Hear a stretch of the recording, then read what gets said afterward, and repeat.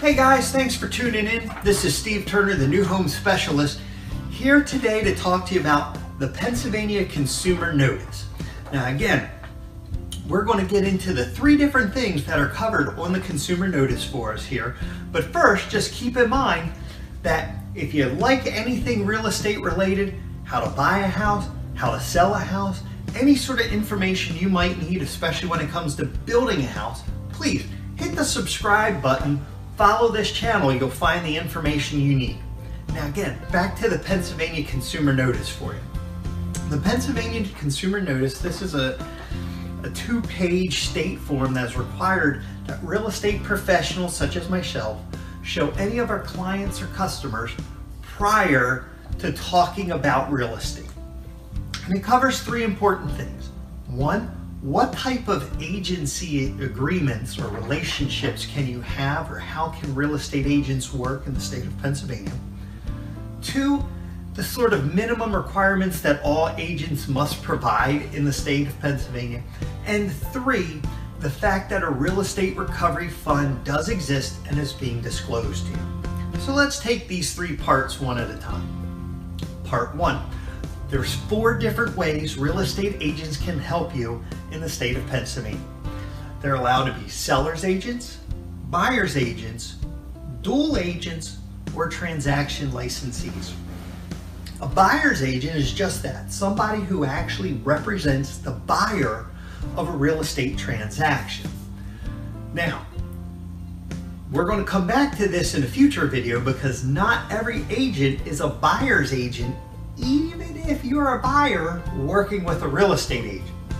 In other words, if you have not entered into a buyer's agency agreement, then that buyer's agent technically in the state of Pennsylvania is to be operating as type number two, a seller's agent, in which case their job as a seller's agent is to represent the best interest of the seller of any property. So even if they're not the listing agent of that property, a seller's agent is designed to represent the seller's best interest.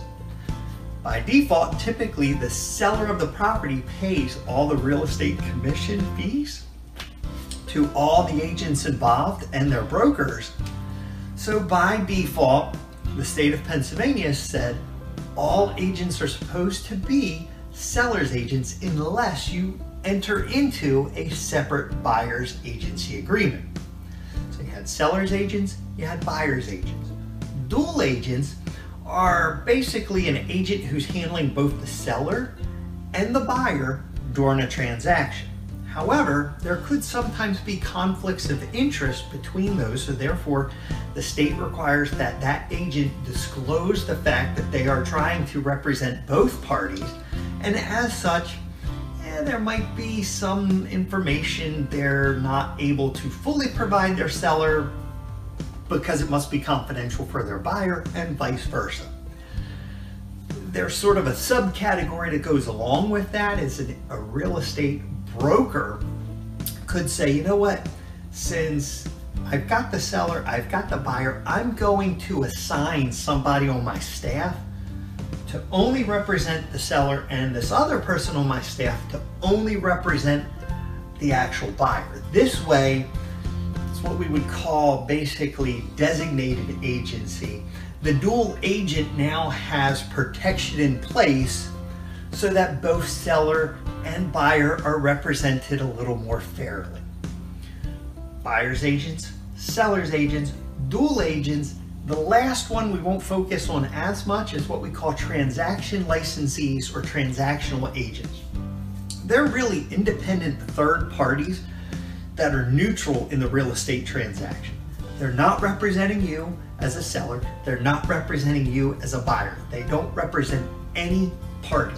So they would come into play, like let's say, for example, seller and buyer somehow find each other and agree to buy the seller's property.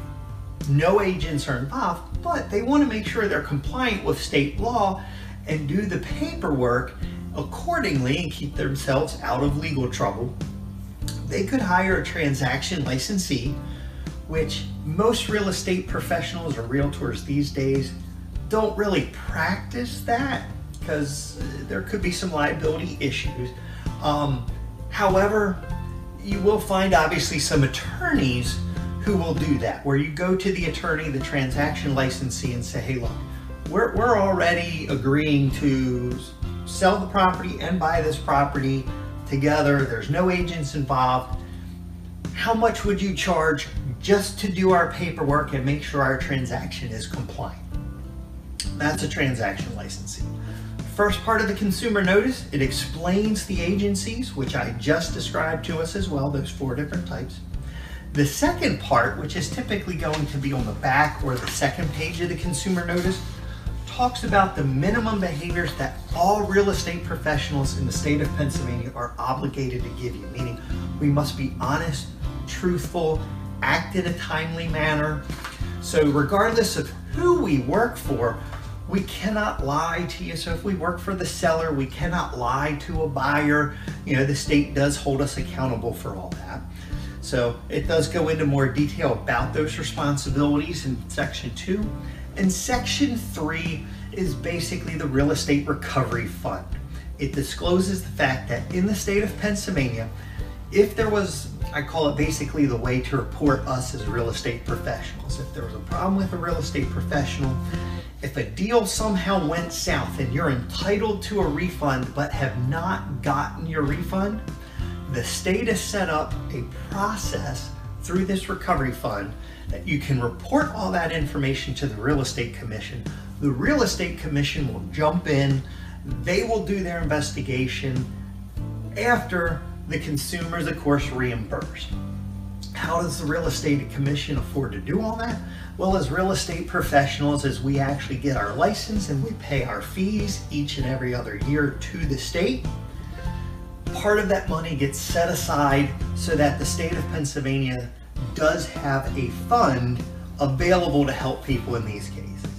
Then again, it gets turned over to the Real Estate Commission, who of course sort of polices or enforces the real estate rules here in the state of Pennsylvania. So again, those are the three things that the state really wants you to see. So don't be intimidated if you see somebody, a real estate professional say, hey look, here's a consumer notice. You're supposed to see this.